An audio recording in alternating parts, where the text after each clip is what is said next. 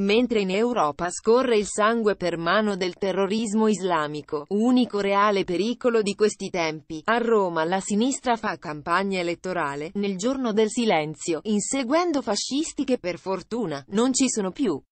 Lo scrive Matteo Salvini sui suoi profili social postando un video della manifestazione dei sindacati di oggi a Roma. Il leader della Lega poi cita Leonardo Sciascia, il più bell'esemplare di fascista in cui ci si possa imbattere oggi, è quello del sedicente antifascista unicamente dedito a dare del fascista a chi fascista non è.